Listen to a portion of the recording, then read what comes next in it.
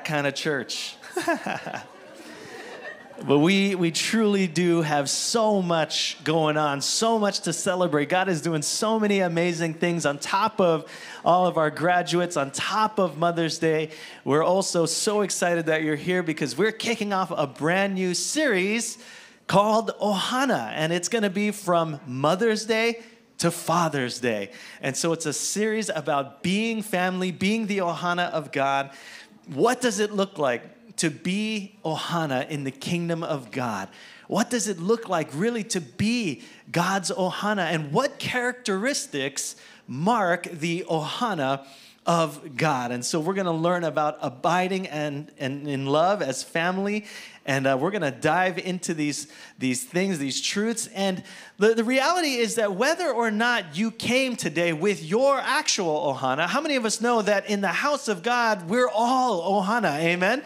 So turn to the brother, turn to the sister sitting next to you and say, We are ohana. Go ahead, tell them that. We are ohana. It's true. Yes, whether or not that person lives in your home, they might come from another community, they might come from another country. It doesn't matter if they're older, they're younger. How many of us know as children of God, we are all His Ohana? Amen. And that's one of the beautiful things. That's what I love about living in Hawaii. This is such a special place. If you've ever been anywhere else in the world, this is such a special place because we get that unique perspective on the beautiful diversity of God's ohana. Amen? Just looking around the room, it is so beautiful to see. And so, as we come into this series, we know that we were all born into different families, right? So when we come into this space, we're coming from different pasts. It's true, we're coming from different experiences, different backgrounds. And if we're honest, we bring different hurts too hurts from our homes, hurts from our families. But here's the truth the truth is that even though we were born into different families, all of us were born again into the same family. We are all God's ohana. And so we're going to learn what it looks like to be the ohana of God. Because when it comes to being family, there's one value, one characteristic that stands above and beyond the rest. It's the most important thing. And if we only had one week in this entire series to talk about one thing, it would be this value. And we find it in scripture. Jesus talks about it, and Jesus is the head of the family. And so let's hear about this all important value that marks us and sets us apart. Jesus was asked a very important question. In Matthew chapter 22, they said, Teacher, which is the greatest commandment in the law? It was almost like their way of saying, Jesus, if you had to summarize it, if you had to boil it down to one thing, Jesus, what would you say is the most important thing in life? And Jesus replied, Here it is love. Love the Lord your God with all your heart, with all your soul, with all your mind. This is the first and greatest commandment. And the second is like it love your neighbor as yourself. All the law and the prophets hang on these two commandments. Jesus saying, if you had to boil it down to one thing, if you had to summarize the whole Bible, if you had to summarize all of Scripture, everything the prophets have ever said, all the commandments, Jesus said it really comes down to one main thing it's all about love. It's all about love. And Jesus said, if you miss everything else, catch this. We have to be a people marked by love. In fact, Jesus said that it is this love that defines us. It is this love that sets us apart. This is what Jesus says to any who would follow him. In John 13 35, Jesus says, By this everyone will know that you are my disciples. How? If you love one another. Jesus is saying, This is it. If you forget everything else, this is the most important thing love. Love one another. It is love that will set you apart. It, will, it is love that will define you. And that got me thinking, you know, there are so many different groups, different organizations, corporations, companies, and they all have that thing, right? That, that value that drives them, that value that defines them. And I wonder, you know, pop quiz today, if you know some of these defining values for these different companies or corporations. So, for example, Nike, what is their defining value? It is just, just do it, right? Nike wants you to know that they are a company who is all about action, right? Just do it, right? Oh, that, that was easy. We all know that one, okay? Let's see if you know this one, okay? Subway, eat. You guys got it. A lot of people eat Subway in this corner. hey, 8 o'clock was about 50 52. But yeah, Subway's motto is eat fresh, right? What do they? They want you to know hey, we're not like all those other guys, greasy, fried, fast food. No, we want you to eat fresh, right? Speaking of greasy, fried, fast food, what's McDonald's slogan? It's da ba ba ba. I'm, I'm loving it, right? Come on, let's be honest. Who doesn't love chicken McNuggets, French fries, McDonald's? You're lying. You're all lying. Everybody loves it. I see you guys at McDonald's. Don't tell me you, you guys don't eat McDonald's, right? Yesterday uh, was my daughter's piano recital, and we came straight to church from her recital. We were both super, super hungry, and we went to McDonald's. We split a 20 piece chicken nuggets. My daughter's eight years old. She ate half the chicken nuggets. I was like, that is not how this works. Okay? You guys are doing pretty good so far, but this is the final one. Let's see if you can all get it. Let's say it together. Disneyland is the. Ooh, I'm sorry. That's actually incorrect. They recently just changed it. it. Was, but now it's the costliest place on earth. They just made that change not too long ago. So we know the slogans, we know the defining values for all these different groups, but what about us, right? What if Christians had to have something that defined us, right? I think Jesus would agree that our slogan would be something like Christians love God, love people. Because that's what Jesus said was the most important thing. And the Bible talks about this that it is love that is the most important thing. I mean, think about the Apostle Paul, right? He said, when you guys get together, you can have all the, the gifts you can have all these spiritual gifts. You can have all, you can have prophecy, you can have teaching, you can have it all. You can pray like, you know, amazing prayers. But Paul would say, but if you don't have love, you have nothing. You've got nothing. Right? He says you can have faith, you can have hope, you can have love, but the greatest of these is love. Love. Now, how many of us know it's one thing to have a slogan, but it's another thing entirely to, to own that slogan or to live that slogan, right? Like sometimes I'll be honest, I hear different company slogans, I think, really? That's what you guys are about? I'll be honest, I went to Subway the other day and I thought, eat fresh? I don't know. I think maybe some days, but not so fresh. Uh, maybe fresh is relative, you know, some days. I don't know, you know? We went to McDonald's, you know, I'm loving it. I, I was loving it in the moment. Then I got up here two hours later to speak. I was not loving it, let me tell you not loving it so much. I was falling asleep, you know, too many french fries, right? Disneyland, right? The happiest place on earth.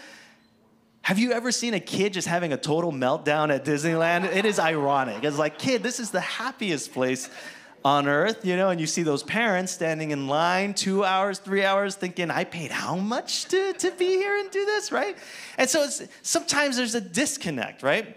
Hey, nothing against United Airlines, if you work for United, no offense, but you know, we all know it's been in the headlines, you know, a lot of controversy surrounding United Airlines, you know, fights on the flights, people getting dragged out of your seats, you know, but do you know what United's slogan is? It's flying the friendly skies.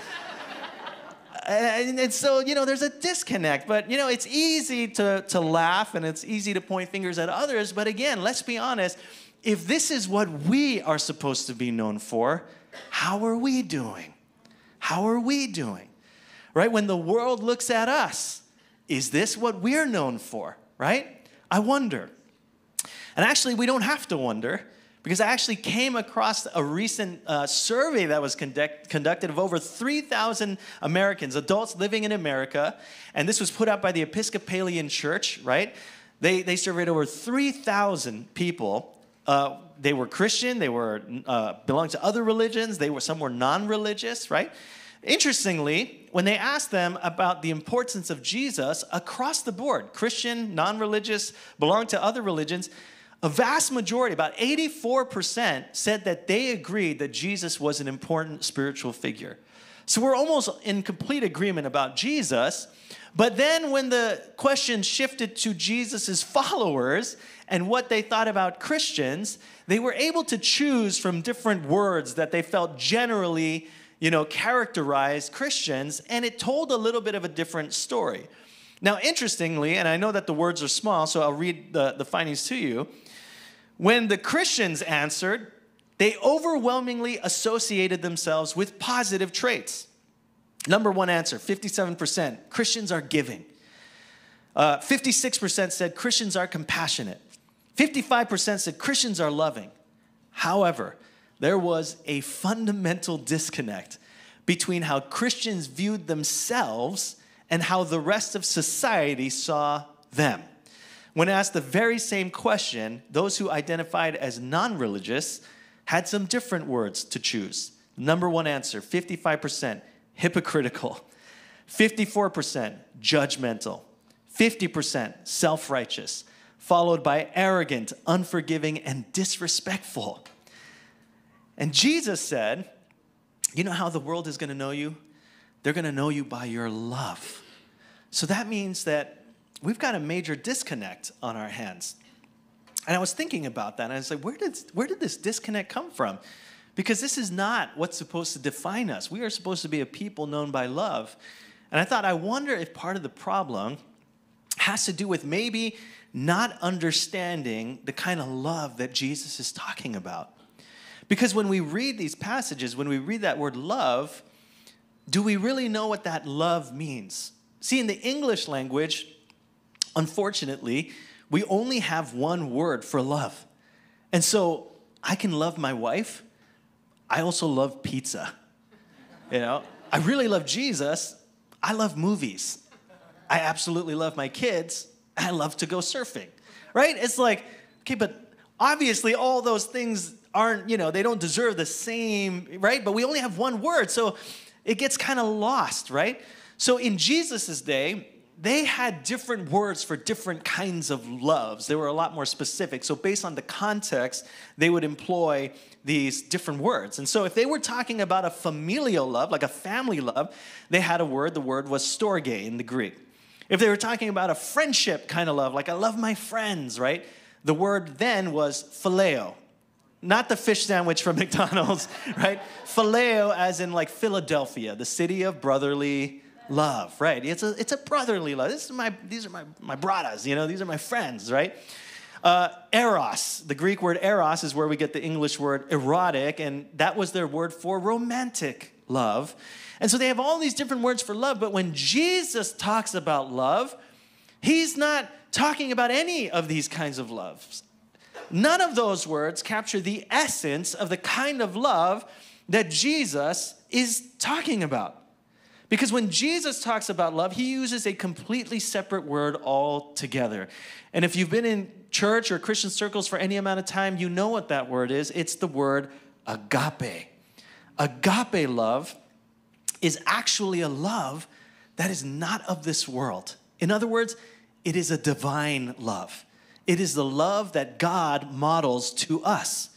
And in Romans chapter 5, you know, Paul's talking about the way that we love each other, right? Like worldly love, right? Human love.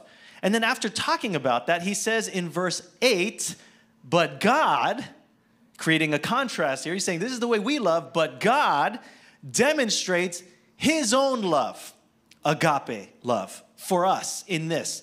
While we were still sinners, Christ died for us. What the Bible tells us time and in time and time again is that God does not love the way the world loves. He does not love. He demonstrates his own love.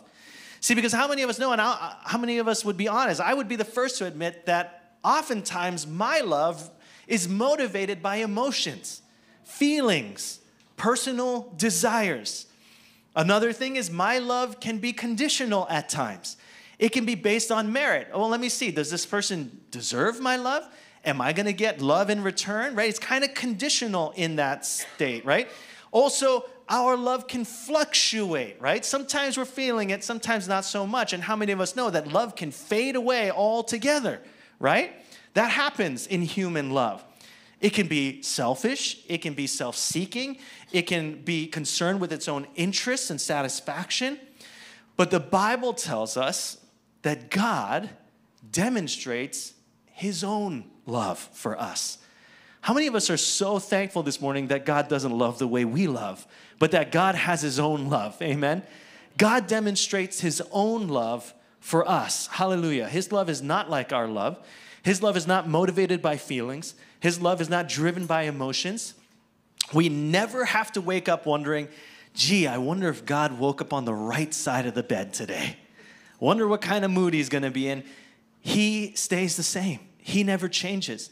His love is not reactionary. It's not based on our behavior. It's not based on how much we deserve it or how much we've earned it.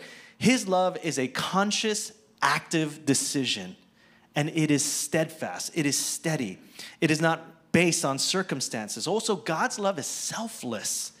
God sacrificially lays down his comforts, his conveniences, even his very life for the sake of others.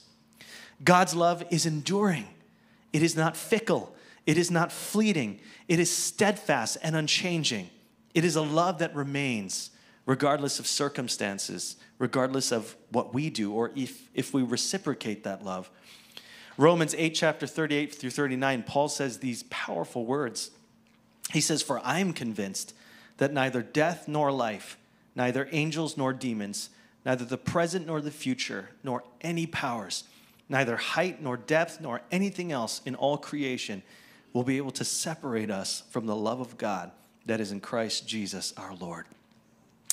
What a powerful reminder that there's nothing, no power on earth, no force in this world that can change God's love for us. Not even you. Not even you have the power to separate yourself from God's love. How many of us have also found agape love to be a transformative love? It has changed us, right? God's love has the power to transform. No other power on earth has the power to change a person's heart but love. Love is the only thing that can change a person's life. It can bring healing and restoration, right? It tears down walls, tears down barriers, builds bridges. It fosters unity and harmony. It pushes us towards forgiveness and reconciliation. The other thing that's amazing about agape love, God's love, is that it is inclusive. It is not exclusive. It does not. Uh, it is not selective. It's not only for a few. God's love is available to all, regardless of your age, regardless of your background, regardless of your past, regardless of your ethnicity, regardless of your culture, regardless of where you come from. No one is excluded from the love of God. His love sees beyond the surface, sees beyond what is external, and sees the inherent value and worth and dignity of every individual. The other thing that's amazing about agape love is that it is not passive. It is not indifferent. It is not waiting for us to take the first step. His love is engaged. His love is active. His love pursues. He is constantly looking for ways to come after us, to serve and to minister to those in need. This is the kind of divine love that God extends to us. This is what agape love is. But not only that, here's the amazing thing, church. Not only is agape love something we receive from God, but agape love is something we are meant to then extend to others. Just as we have received, we give. In fact, we saw that passage earlier where Jesus says, This is how everyone will know you are my disciples if you love one another. Again, this is the kind of love he's talking about. How do we know that? Well, he tells us in the verse right before. He says, A new command I give you, agape one another. How? What's the standard? How do we know we're doing it? Agape one another as I have agape you. How are we to love one another? The same way I loved you. So you must love one another. By this, everyone will know that you are my disciples if you love, if you agape one another.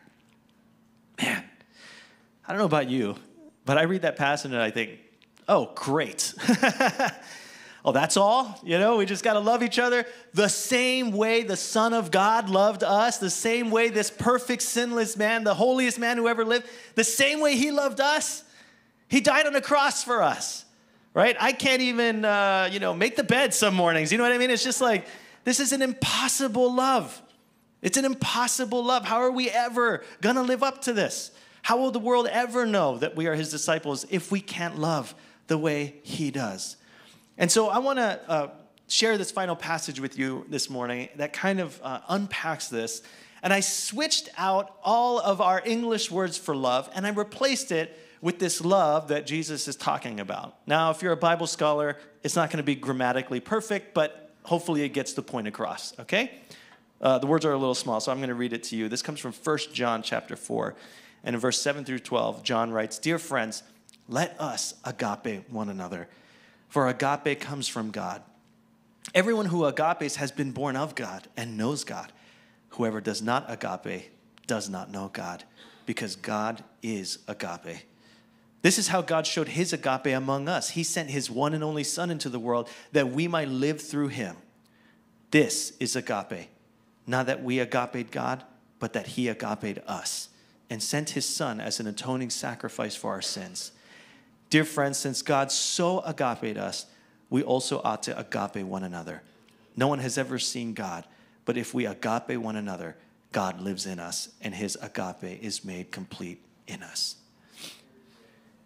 you see, the reason why I think there's such a disconnect coming from the church and why so many people perceive us to be hypocritical could it be perhaps because oftentimes we profess the love of God, but do we possess the love of God?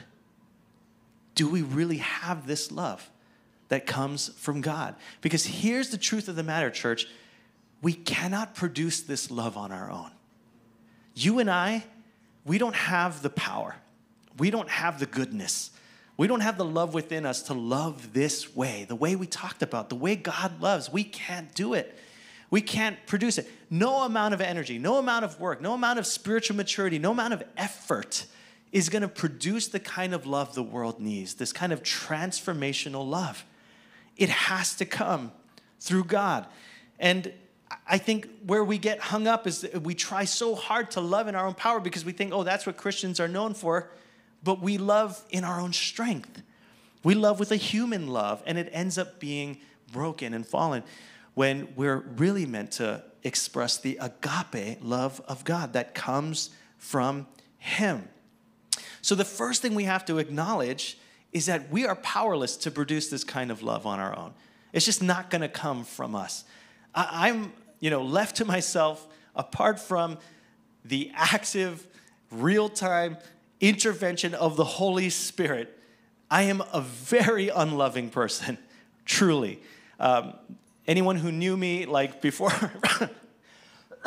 before I really got serious about Jesus, they'll come up here and they'll tell you, "Mom, you know, don't come up here." Chris, stay seated, right? These guys knew me from before, right? They'll be the first to vouch, right? It is any time I'm ever loving is only by the power of the Holy Spirit. I don't have love in and of myself, right? None of us do. None of us can love in this way we have to acknowledge that we're not going to do it on our own. We can't produce this kind of love that the world really needs, this love that sets us apart, that proves that we are his disciples, right? So, secondly, we have to acknowledge that the only way then that we can give this love, the Bible says, is if you don't know God, then you don't know love because God is love. And if you don't love, then you don't know God because God is love.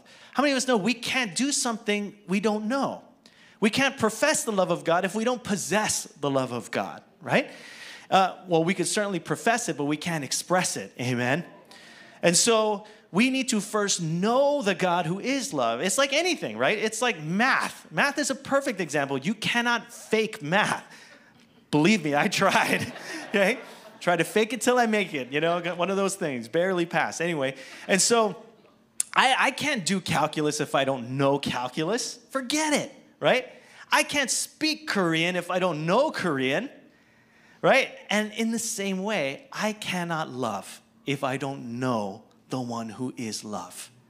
I cannot agape love if I don't know agape love, right? To know God is to know love.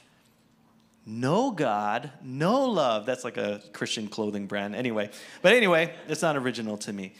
How many of us know that agape love is a fruit of the Spirit.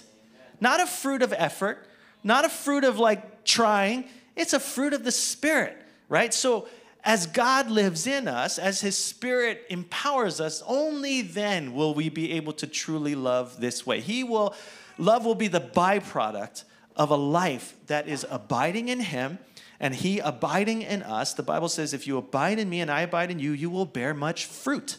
One of those fruits will be love. But apart from me, God says, you can do nothing.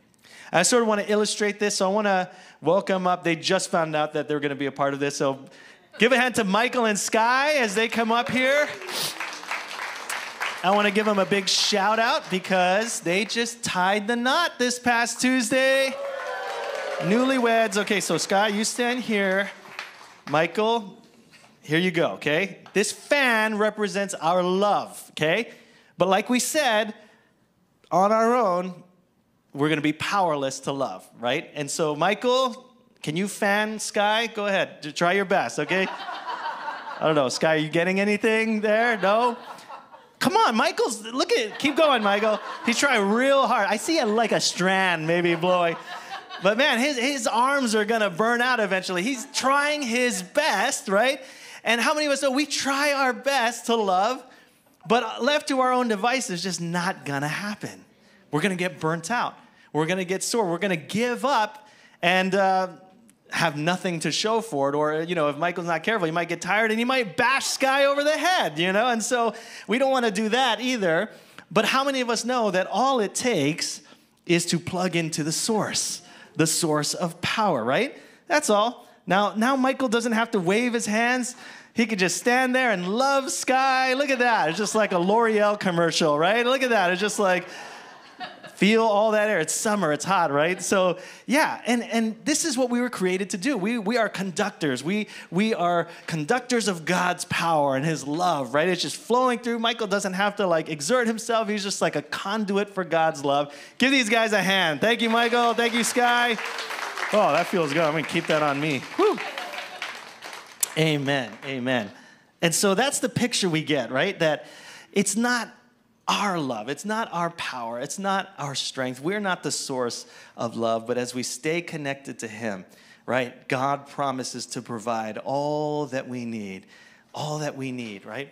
And as we close, I, I just want to share to me a perfect story of this uh, example, right? And uh, how many of you are familiar with the story of Corrie ten Boom? Do you guys know who Corrie ten Boom is? Yeah, she was a survivor of the Holocaust. And um, it, it's such a powerful story. Her and her family were all uh, arrested, they were all imprisoned in concentration camps. And uh, Corrie ten Boom was the only one from her family who survived. She survived her parents, and she, she survived her best friend, Betsy, who was her sister. Her sister died in the concentration camps. Corrie ten Boom was the only one who survived. and after the war was over, she began to go and all over, all over the world, really, to different churches, to different places, and she began to tell her story. She began to talk about the love and the faithfulness of God in the midst of the horror she experienced. And actually, after the eight o'clock service, uh, Pastor Rich's mom, Mrs. Fuel, came up to me and she said, I actually got to hear Corrie ten Boom in person share this story that you're about to hear. Powerful. But she writes of all of this. If you want to know her story, she writes about all of it in her best selling book, The Hiding Place. The Hiding Place. Because what was her family's crime? Hiding the Jews during World War II. That's what they were arrested for. That's what they were in prison for. That's what they died for. So her book is called The Hiding Place. And I want to read to you just a story from the hiding place, talking about the love that God gives us. She says, It was at a church service in Munich that I saw him, a former SS man, who had stood guard at the shower room door in the processing center at Ravensbrück. That was the camp that they were at. He was the first of our actual jailers that I had seen since that time. And suddenly, it was all there. The room full of mocking men the heaps of clothing, my sister Betsy's pain blanched face. He came up to me as the service was emptying, beaming and bowing. How grateful I am for your message, Fräulein, he said. To think that as you say, he has washed my sins away. His hand was thrust out to shake mine. And I, who had preached so often to people the need to forgive, kept my hand at my side. Even as the angry, vengeful thoughts boiled through me, I saw the sin of them. Jesus Christ had died for this man. Was I going to ask for more? Lord Jesus, I prayed, forgive me and help me to forgive him. I tried to smile. I struggled to raise my hand. I could not. I felt nothing, not the slightest spark of warmth or charity. And so again, I breathed a silent prayer. Jesus, I prayed, I cannot forgive him. Give me your forgiveness. As I took his hand, the most incredible thing happened. From my shoulder, along my arm, and through my hand, a current seemed to pass from me to him, while into my heart sprang a love for this stranger that almost overwhelmed me. And so I discovered that it is not on our own forgiveness any more than our own goodness that the world's healing hinges, but on His. When He tells us to love our enemies, He gives, along with the command, the love itself. You see, as Jesus tells us to love one another, He doesn't just give us the command, He gives us the power. He gives us the love because He knows, He knows we won't be able to do this on our own. Could you imagine being in her shoes? Could you imagine trying to muster up the mercy and the forgiveness for this person? It wasn't going to come from her, it had to come from another source the source who is love. Amen. Just recently, like on my way to church last night, I, I stumbled upon this video. I wasn't even looking for it, but there it was. It was like in my feed. Have you guys been following this bishop, this Orthodox bishop who got stabbed in the pulpit? Have you guys seen that story? Man, this Assyrian speaking Orthodox Christian bishop who, who ministers out in Australia, he was in his church. They were having mass, and while he's like preaching the word of God, uh, a Muslim guy rushes the pulpit and just starts stabbing him to, to death. But miraculously, he survived. And after his recovery, his miraculous recovery, I mean, this video just came out, like it is brand new, right? He's standing up there giving his first message back, really. But now he has an eye patch over one eye. He says, by the, and I'm going to paraphrase what he's saying, but you go watch the movie for yourself. He's saying it's like by the grace of God that I'm alive today. But I did lose my eye in the attack. He says, You know what? I prayed to God, Lord, take my eye as a token of my sacrifice. He said, These Muslim brothers and sisters, they don't see you. If I can give my vision so that they could see, I'll gladly do it. Because that's nothing compared to what my Lord gave so that I could see. And he prays for and he, he extends forgiveness to his attacker, saying, I hope this brother finds Jesus. How many of us know that's supernatural love? That is divine love. That's the kind of love the, the world looks at and says, wow, those are followers of Jesus. That's the kind of love that defines us. But it's a love that is not of this world. It comes through our intimate abiding with Jesus. I want to share one more image and uh, I'll put it up in just a little bit. Maybe you guys will throw it up, but it's Mother's Day and she has no idea that I'm going to do this. But my mom is here. And, uh, you know, I have definitely been the recipient of my mom's love, and many of you have been recipients of my mom's love. And this picture might not mean much to you, but to me, it means everything. Because I know the source of where my mom's love comes from. And shortly after I moved out of the house, I mean, immediately after, she turned it into her office. It was like overnight. But there she has her desk area, right? And this is like her secret place. I took a picture of this because every time I pass by, whenever I'm visiting, whenever I pass by the room and I see this, I think, that's the answer right there. Every time I visit the house, she's there every morning spending hours with Jesus here in the Word of God, connected to Him, abiding in His love, staying connected to the source.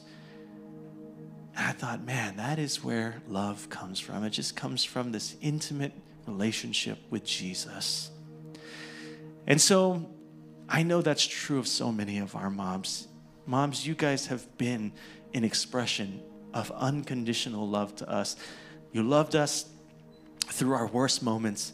You loved us when we were at our ugliest. You loved us, many of us, back into a place of health, back into a place of victory. You loved us out of darkness and into light. So thank you all for being that source of Jesus' unconditional love. Would you bow your heads as we close in a word of prayer and reflection?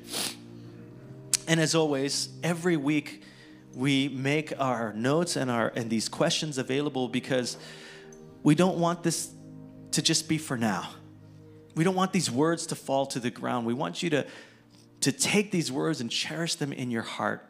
And so wherever you're doing life, whoever you're doing life with, whoever your ohana is, it doesn't have to be your blood ohana, but if you're sitting around the table as family, if you're gathered with your ohana group, if you're uh, you know going through life together with people, then you can go through these questions and take the next step.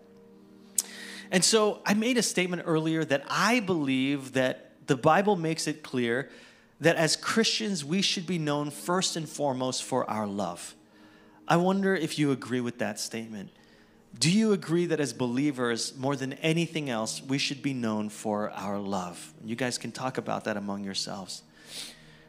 Secondly, if you believed that to be true, then looking at the church today, looking at the state of the world, looking at the state of the church, why do you think it is that we are generally perceived to be unloving? Why, why the disconnect? Right? Let's, let's really take an honest look at ourselves as a people, as the ohana of God, because we're supposed to be known for our love. So, why is there a disconnect? Talk about it. Sure, the media probably plays a, a, part in it in the way that it portrays us, but is that all there is? Is there more to the story?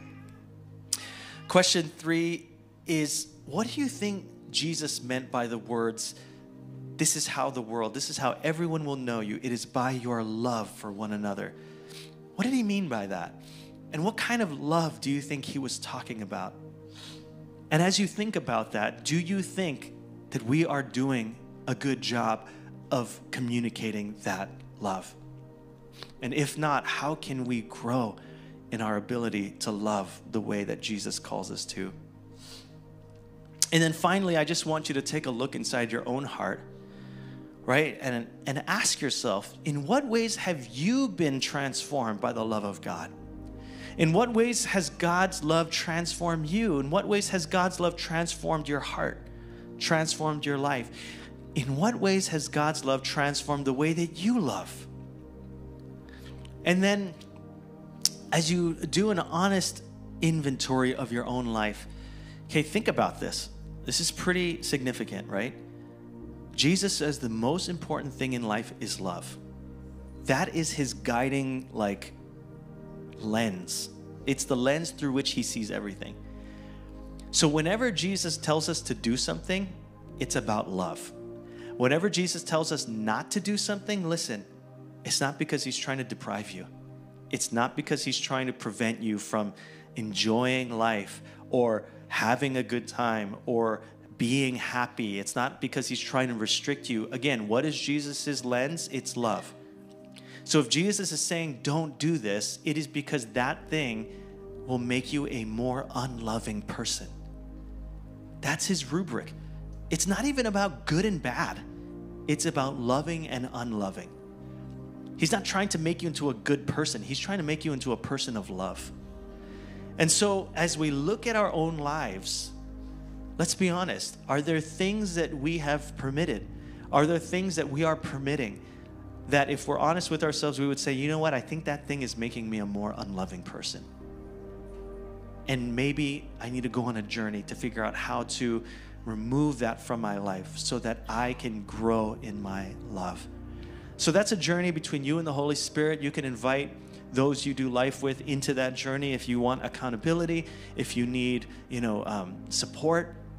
That's what those groups are there for. And I'm so grateful that coming out of our last series, there are so many different groups that are being birthed. So have these conversations together, uh, go on this journey together.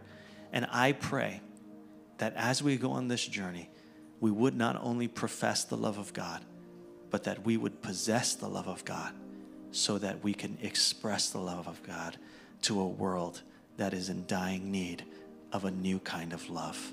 Amen. Amen. Well, God bless you guys this weekend. Moms, we love you. Happy Mother's Day. Feel free to stick around. We have food, we have refreshments. Uh, you don't have to hurry off. Kids, love on your moms, pamper them. Don't let them lift a finger. Bless your moms this weekend. Until next week, God bless. We love you guys.